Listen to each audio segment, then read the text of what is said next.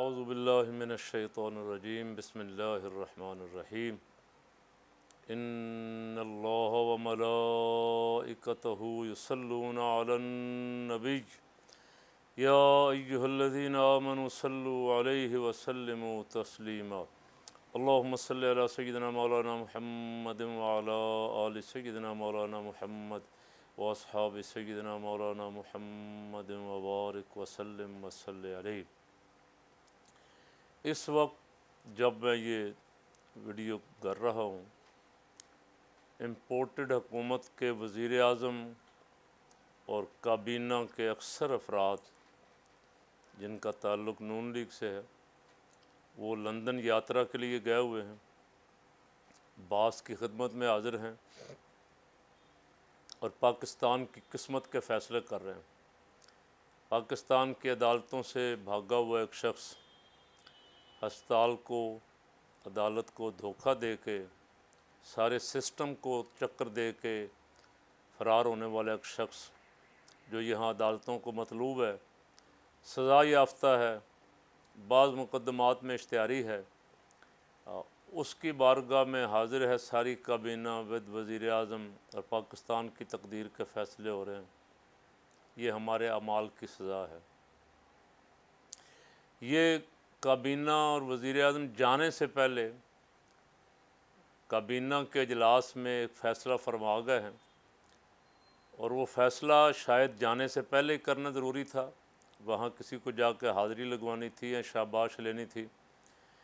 अब फ़ैसला काबीना के अजलास में ये फरमा गए हैं कि इंडिया के साथ तजारत खोल दी जाए बिज़नेस सताशी मुकर कर दिए जाएँ और लेन देन शुरू कर दिया जाए।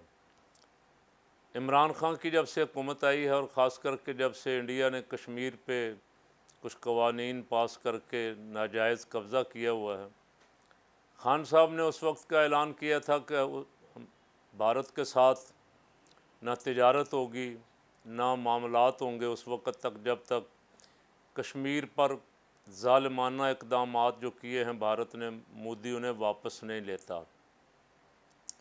और मज़े की बात यह है कि ये सब ज़रदारी ज़रदारी का बेटा मौलाना फजलरहमान साहब, शहबाज शरीफ और उनके साथी हर जलसे में बड़ा पक्का मुँह बना के कहते थे, कश्मीर का सौदा कर दिया खान ने। खान ने कश्मीर का सौदा कर दिया, कश्मीर बेच दिया और पता नहीं क्या क्या कुछ कहते थे। हालाँकि खान ने तो ताल्लुकात भी तकरीबन ख़त्म किए हुए थे। अब जब काबीना ने फ़ैसला कर लिया इंडिया के सामने सजदा रेज होने का झुकने का तिजारत खोल दी उसके साथ मिन्नत तरला शुरू हो गया। और ये पाकिस्तान में तो बच्चे बच्चे को पता है कि तिजारत भारत के साथ किसकी तिजारत थी। आ, कौन किन किन के बिज़नेस पार्टनर भारत में बैठे हुए हैं जो यहाँ बगैर वीज़े के घूमते थे ये सबको पता है। लेकिन मैं हैरान हूँ कि यार इतना प्रोपेगंडा हुआ हो तो बंदा थोड़ी थोड़ी सी शर्म ही कर लेता है। सोचता है कि मेरे ख़िलाफ़ तो पहले बड़ा प्रोपेगंडा था।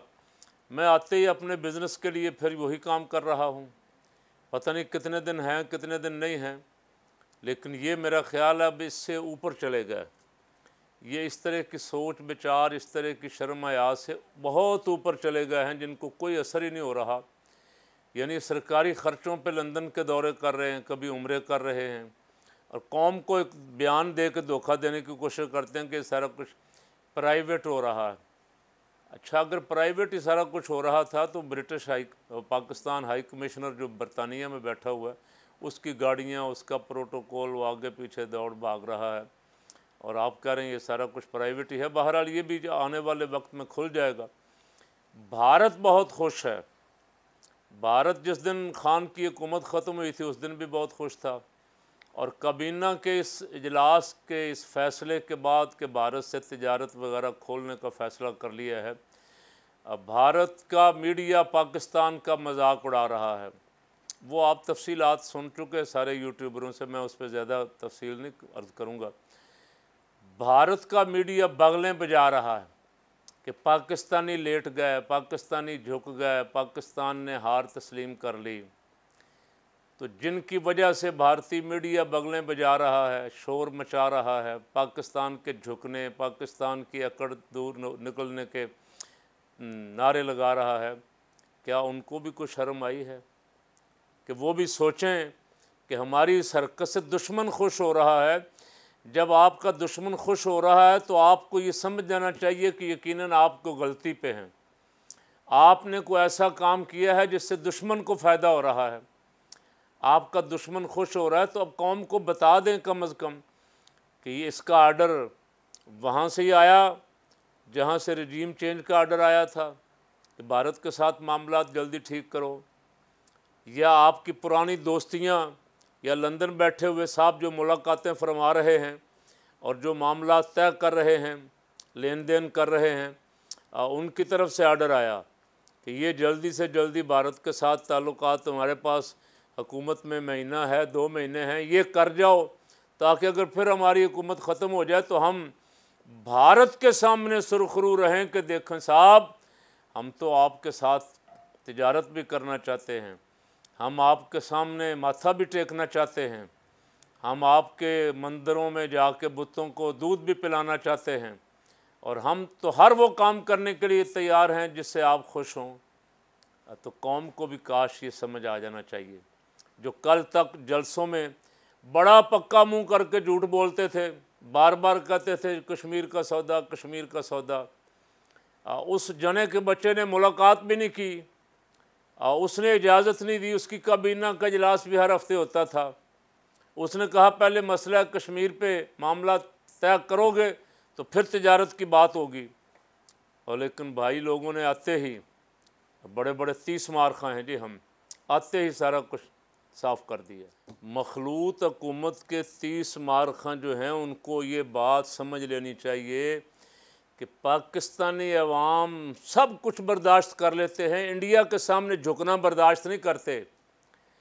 आ, इंडिया के सामने जब भी कभी मसला आया है ये सीसा पिलाई हुई दीवार बनकर अफवाज पाकिस्तान के साथ खड़े हुए। मुझे उन्नीस सौ पैंसठ के अभी तक वो यूब खां की तकरीर याद है। और उसने कहा कि दुश्मन दी तुझे पता है कि तुमने किस कौम को ललकारा है?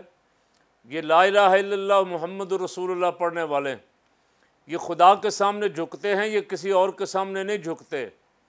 उस वक्त से लेके आज तक जब भी कभी इंडिया हमला आवर हुआ है और अफवाज पाकिस्तान सीना तान के खड़ी है, कौम उनके साथ खड़ी।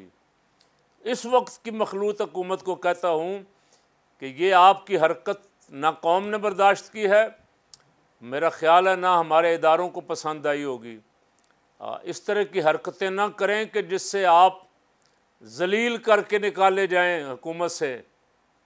कोई ऐसा रास्ता इख्तियार करें कि आप बाज़्ज़त इस्तीफ़ा दे के रुखसत हो जाएँ और नए इलेक्शन कौम को दें और उन्हें अपनी मर्ज़ी की हुकूमत मंतखब करने दें।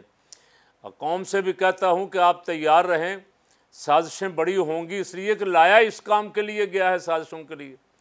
साजिशें होंगी, इसके लिए तैयार रहें। इन भारत के सामने पहले भी सीना तान के खड़े थे।